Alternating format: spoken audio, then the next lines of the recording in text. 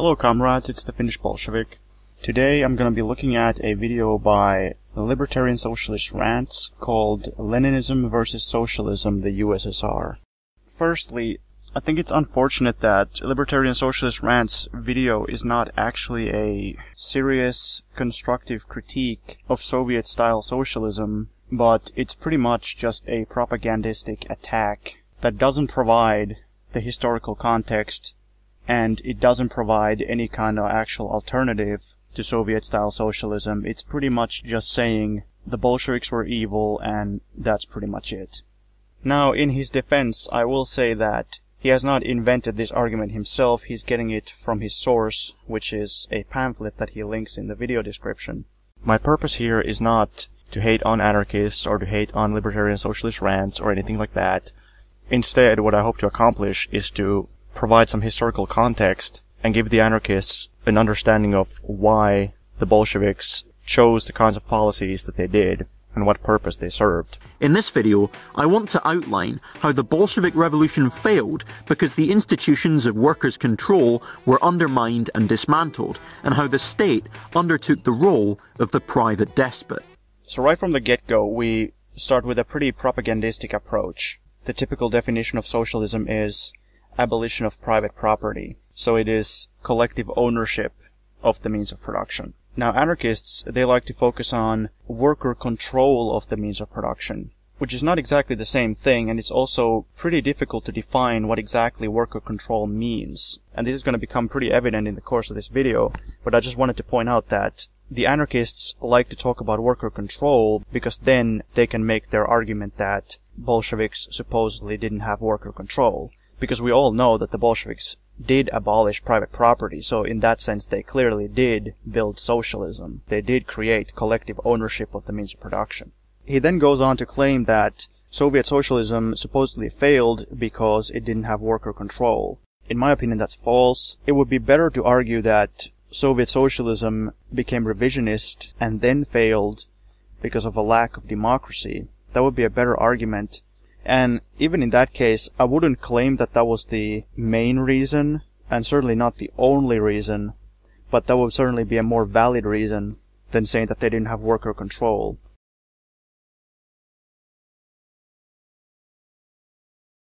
Now, firstly, let's talk about what does property look like in socialism and communism. Both Marxism and anarcho-communism want a similar type of end goal. Not necessarily an identical end goal, but at least it's fairly similar. In communism, you should have all the means of production owned by society as a whole. This is the only way you're actually entirely negating private property, is if the means of production are owned by the society as a whole. Certainly for communism this is the case, but I would argue that even for socialism this should predominantly be the case. So in communism, you should only have societal ownership. However, in the transitional phase, which we call socialism, you basically can have two types of ownership. You can have societal ownership, where the means of production are owned by the society as a whole, and collective or cooperative ownership, where the means of production, for instance, a factory or some kind of workplace, is owned by the workers who work in it, but it's not owned by the society as a whole. That's a cooperative workplace. Anarchists have always been big advocates of cooperatives. Marxists have as well, but Marxists have clearly also supported state-owned industry, whereas anarchists obviously don't. So anarchists and some other people, they prefer cooperatives. For them, it is an attractive idea that you have a workplace which is owned and somehow controlled by the workers who work in it. They like this idea because it doesn't involve the state. And it's also very local and grassroots. But what they fail to understand is that that's not actually compatible with communism. It is compatible with a very low level of socialism, but not communism. For communism, we need everything to be owned by the society as a whole, not just by individual separate co-ops. And for that, you actually want the economy to merge into a bigger unit instead of splitting into smaller pieces.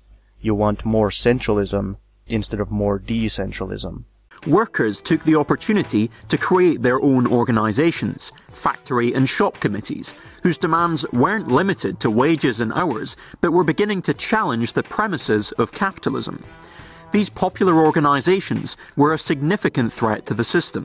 The Bolsheviks took power on October the 25th, and the dismantling of workers' control began. When libertarian socialist Rants talks about this supposed contradiction between the state and the workers, that's not actually what he's talking about. In reality, he should be talking about a contradiction between the narrow local interest of some local committees versus the interest of the whole country and the entire class. The role of the workers' government is to serve the interests of the entire class as a whole, even if it goes against the wishes of some local groups that either want more local control, more local power for themselves, higher wages for themselves, or whatever. And this is the real question.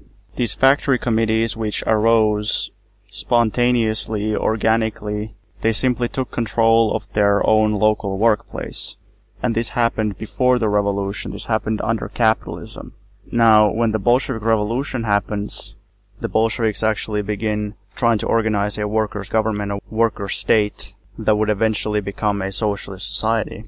And it shouldn't be too difficult to understand why, for the interest of strengthening the revolutionary government, securing the revolution, strengthening the economy, and especially when the Civil War starts, to strengthen the Red Army's war effort, that the Bolsheviks would say, we want to have a government body which determines, broadly speaking, what direction the economy is going to take, and which would organize things like, alright, we will have material sent here, here, and here, and investment put here, here, and here, which will allow us to produce this, this, and this for the war effort, instead of just having each of these factories just do their own thing with no regard to the country as a whole. And don't get me wrong, most of these factory committees were not anarchists. Most of these factory committees were not opposed to a workers' government which would guide the nationwide economic policy. The Bolshevik position, which is also the position that I agree with on this issue, is that the local workers should have some level of control over how they do things in their own workplace there should be some level of local control and some level of local autonomy. But at the same time, there has to be some kind of nationwide collaboration and nationwide plan of how to do things. Because it can't just be about how you want to run your own little workplace. Because you don't exist in isolation. It's about how the entire class in the entire country does things. So I think it is dishonest and not very useful when the anarchists simply claim that Marxism is against worker control or something just because we are against individualistic local control. The Soviet Union had a worker government. As I've already stated many times, this is not some kind of disagreement between the workers and a capitalist government or something.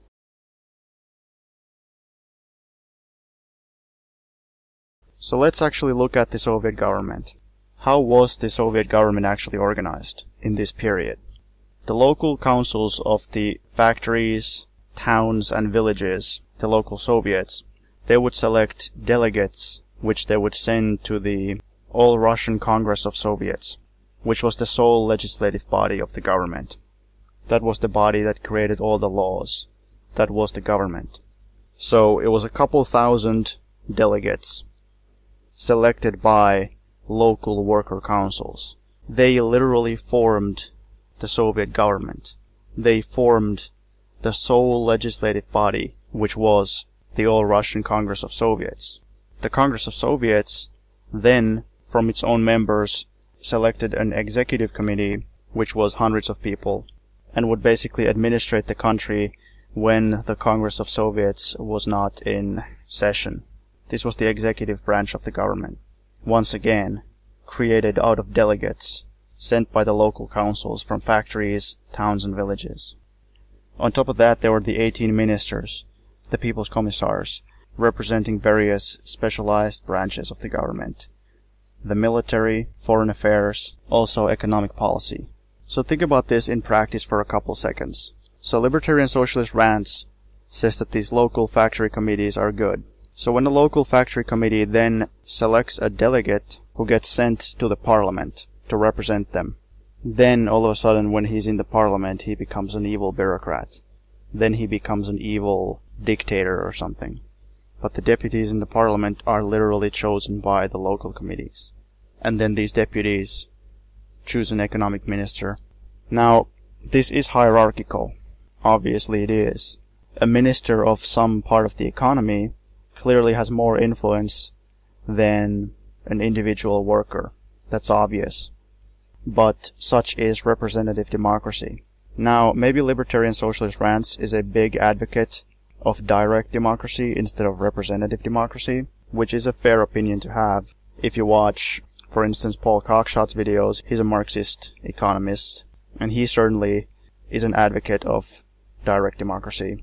And I would also agree that you should have direct democracy whenever possible. It's just that Marxists don't think that it's always possible, if we're being realistic. When it comes to really technical, detailed economic planning, then realistically you're gonna need some kind of experts to be taking part in that. And what Paul Cockshott was suggesting was he said that there should be an economic planning body together with some kind of um, auditing body selected from random citizens who would then oversee the economic plan. And I think that makes sense because you do want to have checks and balances, but at the same time you do need to have some level of hierarchy. If it's a matter of economic planning, then you really should ask an economist. And I know that anarchists, I think there's a Bakunin quote about this, where anarchism basically agrees with this, at least in principle. Okay, in Soviet Russia, the nationwide economic policy was drawn up by experts, by economists because that's obviously the smart thing to do, especially if you are in a war and you really don't want to mess things up. The Libertarian Socialist Rants attacks this as some kind of betrayal of socialism or something. But how would the anarchists themselves have done this? Well, we actually know how the anarchists did this because we can just look at Spanish Catalonia when the anarcho-syndicalists had power in 1936 to 1938. And you know what? They had an economic minister. Yes, they had an economic minister. Now, is that hierarchy? Is that representative democracy instead of direct democracy? Yes. Is that simply the smartest thing to do? Absolutely. Which is why they did it, despite the fact that they were anarchists. They did it because it was obviously the smart thing to do. It was obviously the necessary thing to do. So anarchists really shouldn't attack us for doing something that is just obviously the correct thing to do and they themselves do the exact same thing.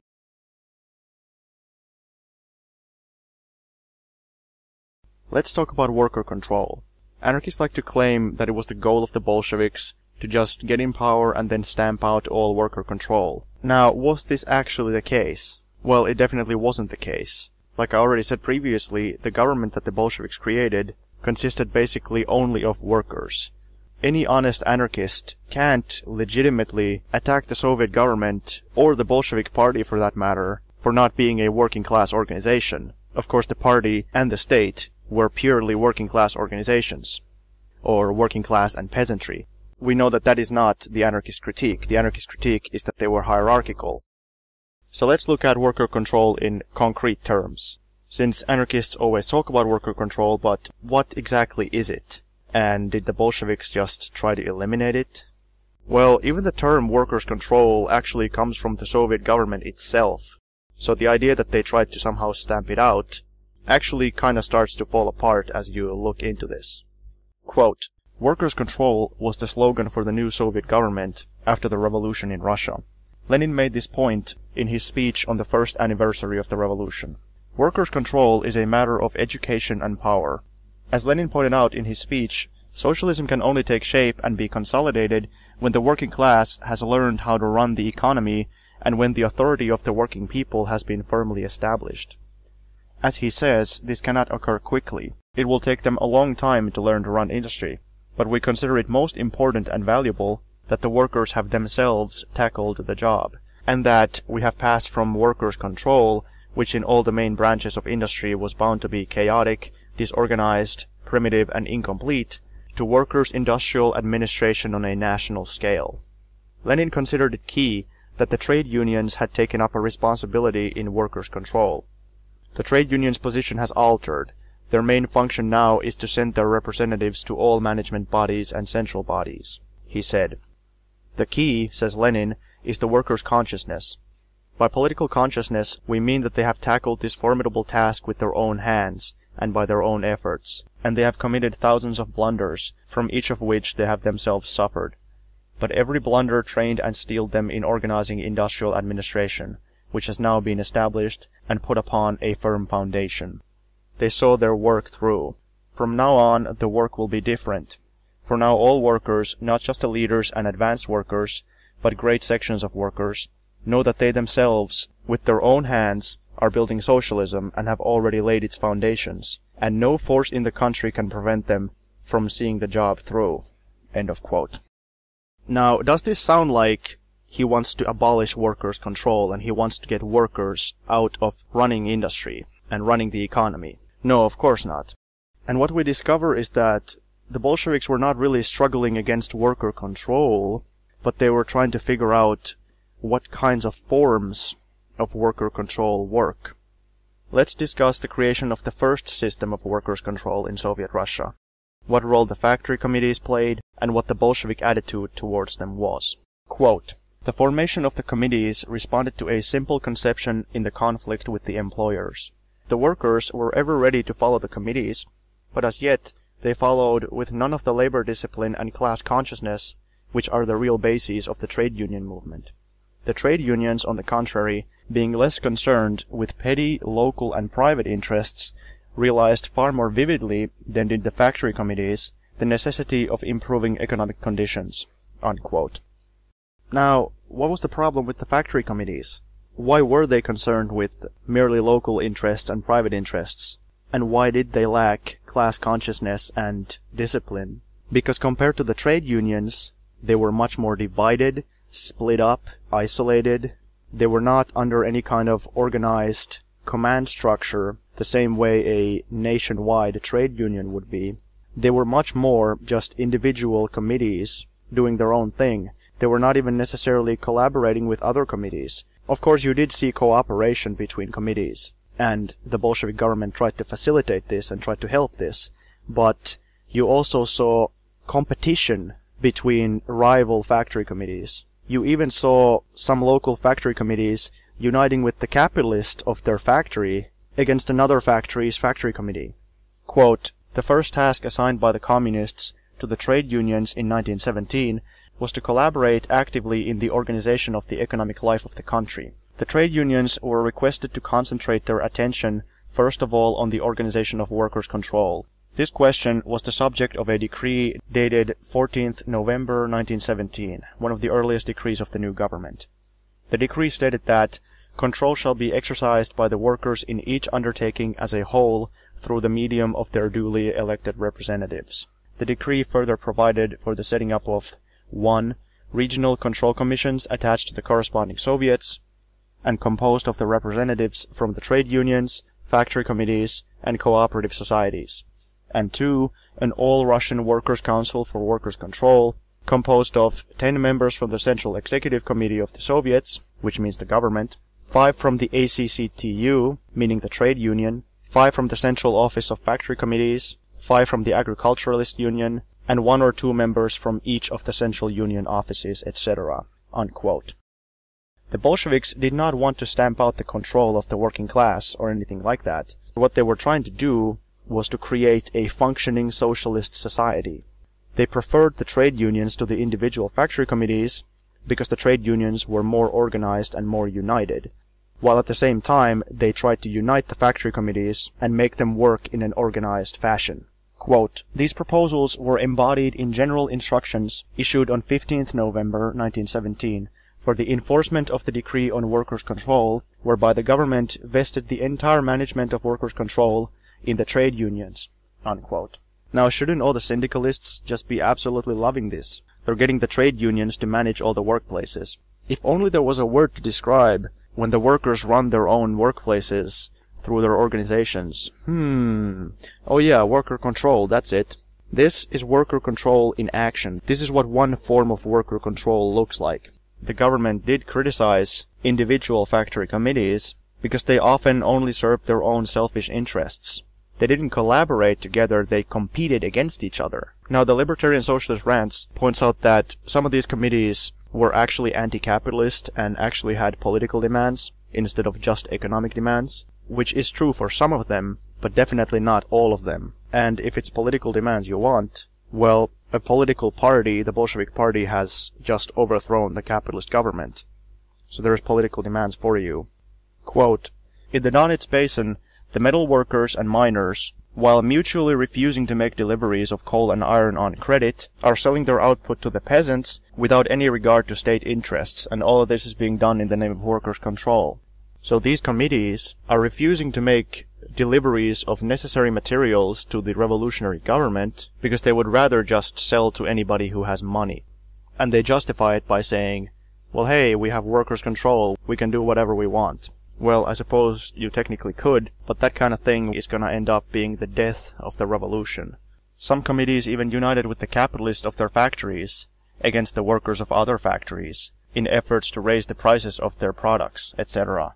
Quote, Most of the committees only considered the individual interests of their own undertaking, working irrespective of how the others were faring. They even went the length, in conjunction with the employers, of raising the price of the articles they manufactured. Unquote. Once again, due to this chaos, the Bolsheviks prefer the trade unions. A government body is created, called the Supreme Economic Council, and more responsibility is given to the trade unions. Quote, the unions were called on to play an important and even decisive part in the different national commissariats, the SEC, and other executive bodies of the nation's economy. This was an overwhelming task, and yet these duties, vast as they were, were subsequently added to by the nationalization, at first sporadic, but afterwards methodical, of the industrial undertakings. Unquote. Quote, the composition of the SEC was revised. 30 out of 69 members were appointed directly by the unions. At the same time, the unions were asked to direct the central organizations created and subordinated to the SEC. These were the Glavki, or the central committees, appointed to manage the affairs of various branches of industry. These organizations, about 50 in number, were managed by boards chosen by the trade union of the corresponding branch of industry and approved by the SEC. The real importance of the duties entrusted to the unions will be seen in the following summary of the duties of the SEC. The primary function of the Supreme Economic Council is to organize the economic activity of the country and the financial resources of the government. With these aims in view, the SEC will draw up a general plan and propose the necessary measures for the sound organization of national economy. It will also coordinate in a general scheme the activities of various economic organizations. The committee is dealing with the organization of the fuel, metal, and provision trades, the commissariats of commerce and industry, supplies, agriculture, finance, the army and navy, etc., the All-Russian Council of Workers' Control, and the various organizations of the working classes. Unquote. Now, let's look at systems of worker control in the Soviet Union after socialism was actually built. And I may do a video later that discusses this topic in more detail, but for now, let's just briefly go over some of the more basic types. As the trade unions proved very suitable for creating a stable system of worker control and industrial management, the Bolsheviks gave them a very substantial amount of power, both in terms of managing the affairs of the local workplaces, electing officials to represent them, replacing managers they didn't like, etc. Quote, the Soviet trade unions are massive organizations uniting over 107 million members, or about 98% of the workforce. Unquote. Quote, the trade unions have powers to draft bills for consideration by the Supreme Soviet, the parliament, and to take part in the work of the parliamentary committees which process the bills. All trade union bodies are elective. All posts which carry with them policy-making responsibilities are elective. Unquote. The trade unions were also given a significant amount of influence in economic planning on the local level. The economists and planners in the State Planning Commission would create the big picture nationwide plan, together with the help of the trade unions. The unions operating from local workplaces would tell the planners, this is the amount we can produce, these are the production targets you should set, these are the resources that we need to fulfill our plan, etc. Quote, Unions are able to play a strategic part in the planned development of the socialist economy. They in fact draw up the plans covering labor conditions and standards that are used by the State Planning Commission in working out its plans for the year and covering every phase of economic life in the country. The so-called counter planning in each industrial unit and factory is conducted through the union committee. It works out the proposed production rate for the factory, as well as the work requirements for each job, consistent with the plans for the whole industry. The unions are clearly one of the most vital agencies in the Soviet Union. Unquote.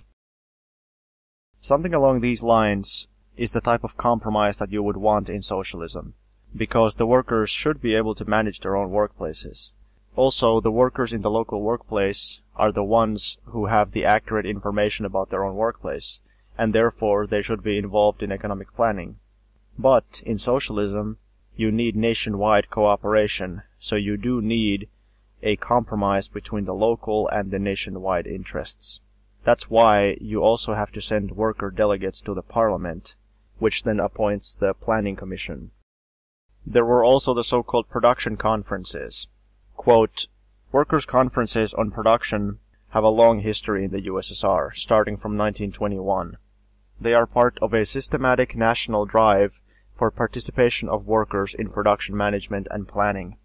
The important characteristics of the SPCs, which concern us here, are that they bring together representatives of all sections of an enterprise to resolve current production problems, and like so many other forms of worker participation in management in the Soviet Union, are inconceivable outside a socialist society.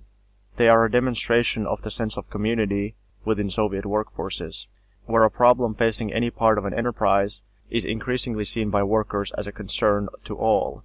The SPCs are one of the basic forms of mass involvement of workers and employees in managing production, and are concerned with economic management of enterprises. The SPCs are an important form of socialist democracy, of public control, of practical involvement of the working masses in management. The membership of the SPCs is composed of workers and staff, representatives of the factory, office, local, and shop trade union committees, the management, party and young communist league organizations, branches of the scientific and technical societies, and the All Union Society of Inventors and Innovators. These are all elected at general meetings in shops and departments, remembering that virtually every eligible Soviet worker is a member of his appropriate trade union and the corresponding public organizations. At smaller enterprises there is no SPC, and questions of production are usually dealt with at general meetings of the whole workforce. The SPC meets as required, but not less than quarterly. Its work is prepared by a committee it elects, responsible for daily checking on decisions taken. It should be noted in connection with the importance of workers' participation that this representative gathering, the SPC, can take decisions on matters of production within the plan and accordance with the law, which are binding on the management. When one considers that such a system of control operates in a situation where the trade union district committees have power to demand the sacking of any member of management, including the general management, and that it is common practice that an insistent demand results in dismissal, it would be a foolhardy manager who tried for too long to ignore the wishes of the SPC. Unquote.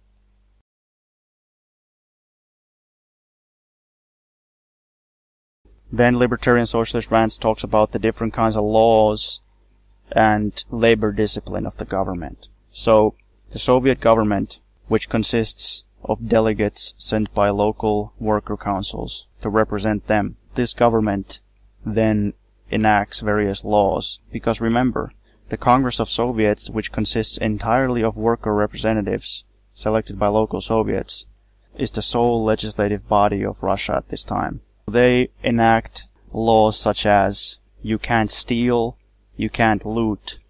Now the anarchists, they then turn around and say, see, the Bolsheviks are protecting private property. But it should be fairly obvious why this is just ridiculous. Because in order to avoid total economic ruin, total chaos, and total societal breakdown, you really can't just have people taking things. Even when you're going to nationalize the industry and even when you're going to take the workplaces and the factories into the hands of the workers, it should be done in some kind of orderly manner. And if your country is in massive turmoil, terrible economic problems, civil war and whatnot, you really don't need the additional destabilization caused by people just randomly deciding that they're gonna take this or that factory over and halting production there. This is not a betrayal of socialism to have some basic level of rule of law. Ask yourself this. Do you really think that the Bolsheviks wanted to protect private property? Obviously not. They literally got rid of private property themselves. They literally got rid of private property. The Bolsheviks abolished private property much more than Makhno did. Makhno didn't do anything to abolish private property. Now, the government also did impose labor discipline. Basically rules like, you must show up at work at the time that has been agreed in your work contract. You must show up at the correct time, you can't be late, you can't be absent without a valid reason, or otherwise you will face some kind of penalties. Now Libertarian Socialist Rants makes this seem like some kind of crazy totalitarian idea, but it's literally the most sensible thing ever. What do you think is gonna happen after the revolution? People are just gonna not show up at work ever? No. Even after the revolution, people still need to show up at work. They still need to perform their work. They can't be absent without a valid reason. The word labor discipline might sound scary to anarchists. They might think, ooh, labor discipline, that's spooky. But it's really not. Once again, I will point to anarchist Catalonia. They had exactly similar labor discipline and labor laws. They even called it the same thing, labor discipline. Quote, Another resolution by the CNT was that which was entitled General Labor Norms, and in fact dealt with the problem of labor discipline. In its explanation of this resolution, the CNT National Committee observed, The CNT has the responsibility of indicating labor norms, a regulation which indicates to everyone his rights and duties. Clearly, in establishing rights and duties, one cannot eliminate sanctions, since all and everyone is obliged to give the most possible in collaboration in the great work in which we are engaged, maintaining a war and overcoming an economy broken as a result of the conflict. Each enterprise would have an official responsible to the Technical Administrative Committee. These were the officials to administer labor discipline. Unquote. Now, does this sound like anarchy, or does it sound like Bolshevism? In both cases, in anarchist Catalonia and in Marxist Russia, they both had the same kinds of good reasons to be concerned about this, because they both faced economic difficulties, so they really wanted to make sure that people still keep working and producing so that the country doesn't run into any worse difficulties, and so that labor productivity doesn't fall, and that production doesn't fall, and they both had a civil war to deal with. I know the idea that even after the revolution you have to work as hard as before, maybe even harder for some time, to secure that the revolution wins. I know that that's not the most attractive idea, but we better start getting used to that.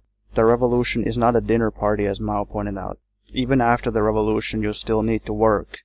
And as a communist, I think it's fair to say that you should be prepared to work harder than before to make sure that the communist revolution succeeds. This is literally why we call anarchists individualists, because they make complaints like this. Why do I have to work? Why do I have to keep working hard to support the socialist revolution? Why are they forcing me to work hard to support the socialist revolution? Well, if the revolution happens, are you gonna stay home and not work? Are you gonna complain if they force you to work? Like everybody else is literally dying out there, but you're gonna complain if they make you work? Libertarian Socialist Rants goes on and on about how Bolsheviks were terrible because they supported Taylorism, which was a method invented by this one industrialist to try to make production more effective.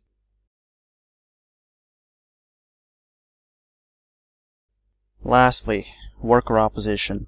So libertarian socialist rants and anarchists in general, they paint opposition to the Bolshevik government as some kind of great heroic thing. But what did this opposition, in actual concrete terms, what did opposition to the Bolshevik regime mean?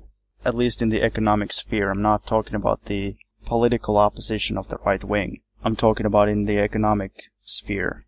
It was peasants who were opposed to grain requisitions because the government was basically requisitioning food produced by the peasants at a fixed price so that they could give it to the cities and to the military and continue the war effort. Now the peasants, they really would have liked to get more money for their product. This was easily the most substantial, most serious kind of opposition was the peasants. And this policy was part of what was called war communism. And one of the reasons that the new economic policy was implemented after the Civil War and why war communism was ended was because the peasants were not very happy about war communism. They wanted to get more money for their product. So was this some kind of heroic thing? Well, obviously not. I mean, it's understandable why they would want more money for their work, but it's also understandable why the government literally needed the food for the cities and for the army. It was absolutely necessary to win the war. The less significant type of opposition was by workers in industry and by bourgeois experts in industry. And basically this meant that certain people would strike demanding more money, more food, more material comforts, or more political power, more autonomy from the government. And obviously the government couldn't have this because they were literally fighting a war to the death with the class enemy. So they can't just have people saying, no, we're not gonna work anymore. And they also really didn't want to give people any extra money because they didn't have any extra money. They also understood that it would set a dangerous precedent if they start saying that, okay, because you guys are striking or demonstrating, then that means that we're just gonna let you do whatever you want Laws decided by the Congress of Soviets don't apply to you. Regulations decided by the Congress of Soviets don't apply to you. You can just do whatever. The economic policy drawn up by the Congress of the Soviets doesn't apply to you. Obviously, they couldn't do that. Most of the time, things would be settled peacefully. Sometimes the government would have to crack down and stop the opposition so that things would return to normal, production would return to normal. Because as I said, this is not a dinner party, this was civil war. But even so, most disagreements and strikes were settled peacefully, and most of them were not even against the government and didn't have political motivations of any kind. They were simply demanding higher wages or bigger food rations. After all, it was a time of civil war and extreme hardship. Quote, 86.3% of strikes had economic motives and only 13.7% political. but The overwhelming majority of strikes 73.9%, were classed as having been settled completely or partially in the workers' favor. Unquote. Quote, Many of the strikes in 1920 followed traditional patterns and initially represented reaction to harsh material circumstances, rather than a protest against Communist Party labor policies. But food shortages could easily lead to attacks on the government trade monopoly or abuses. In December 1919, a representative of the Moscow Department of the Metal Workers Trade Union reported that the catastrophic sharpening of the food supply crisis has led to a spontaneous halt to work by workers and the calling of general meetings. February and March, when food supplies were particularly tight, constituted one peak of unrest, even though the food supply apparatus worked more effectively than in previous winters. Moscow experienced drastic problems with shortages and as the situation deteriorated, discontent amongst workers escalated. At the end of March, the Moscow Communist Party newspaper published an editorial which noted that in the past days in Moscow, here and there, from time to time, strikes have broken out in individual enterprises. These strikes are connected with the severe food supply situation of the workers. Unquote. This is what Lenin had to say at the time, and from reading this, you can really see just how dire the situation truly was. Quote, the principal mistake we have all been making up to now is too much optimism. As a result, we succumb to bureaucratic utopias. Only a very small part of our plans has been realized. Life, everyone in fact, has laughed at our plans. This must be radically altered. Anticipate the worst. We already have some experience. It is slight, but practical. Food supplies. Frumkin says the ideal is 150 million poods from the tax plus 50 million poods by means of exchange plus 40 million poods from the Ukraine equals 240 million poods. We must base our calculations on a total of 200 million poods for the year. What are we to do with this paltry starvation figure? Alpha. Take a minimum for the army, that is, calculate the ratios for a minimum army. Beta include in the plan the economic work of the army on a modest, extremely modest scale. Gamma. For office employees, drastic reduction. Immediately draw up a list of the best enterprises. Close down one half to one quarter of those now running. Only those which have enough fuel and bread, even if the minimum quantity of grain is collected, 200 million puds, and fuel, for the whole year, put 70% of the members of the State Planning Commission to work 14 hours a day. Let science sweat a bit. We have given them good rations, now we must make them work. Unquote. So at a time like that, who is honestly going to criticize the Bolshevik government for wanting more organization, more planning, more order, more control about what happens to their resources and where they're being allocated? Lastly, there were the bourgeois experts, engineers, technical specialists, as well as workers in certain key industries and key sectors like the railway workers, who were basically so crucial to the government that they could blackmail the government for more money. So when these bourgeois experts, railway workers, engineers, etc., when they would go on strike, the Bolsheviks were actually forced to grant them certain privileges because if those people went on strike, the entire economy and the entire war effort would collapse. And these people, such as the bourgeois experts, could not be replaced because those were the only experts they had. It was imperative that the Bolshevik government got these people to collaborate with them, and the only way to make it happen was to grant their demands. But these people who were striking were not some kind of heroic opposition. They were literally just exploiting the situation and blackmailing the government for more money. So the Bolsheviks gave them more money. And they were talking about the concept of a labor aristocracy. Because these certain industries, like the railways for instance, they were getting more money because they were blackmailing the government. So the Bolsheviks called them a labor aristocracy. Quote, Naturally, in a developed socialist society, it would appear quite unfair and incorrect for members of the bourgeois intelligentsia to receive considerably higher pay than that received by the best sections of the working class, stated Lenin.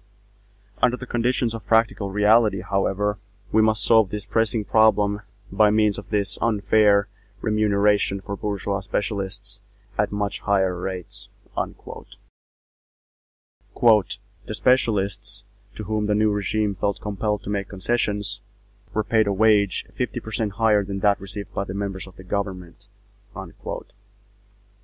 Now, anarchists, put yourself in that same position. Imagine that you have an anarchist territory where an anarchist militia army is fighting against the capitalist army. And then you have people who are saying, okay, we know that the revolution is going on, but we're gonna exploit this situation and we are not gonna work tirelessly and selflessly for the goals of the revolution and we're not gonna sacrifice our comfort. Instead, we're gonna stab the revolution in the back by demanding more things for ourselves. Now, are you gonna call these people a heroic worker opposition? Probably not. You're gonna look at them and you're gonna say, this is a small group of individualists. And when everybody else is literally dying out there, working their ass off, working overtime, doing volunteer work for free, so that the revolutionary government is gonna win, and these people are demanding more money and they're actually striking, they're willing to go on strike against the socialist government, so that they can get more money, or so that they can pursue their own political interest, yeah, you're just gonna call them individualists. Meanwhile, this is what the communists did, and what everybody should do. Quote, Saratov, June 5th. In response to the appeal of their Moscow comrades, the communist railway workers here at the General Party meeting resolved to work five hours overtime on Saturdays without pay in order to support the national economy. Unquote.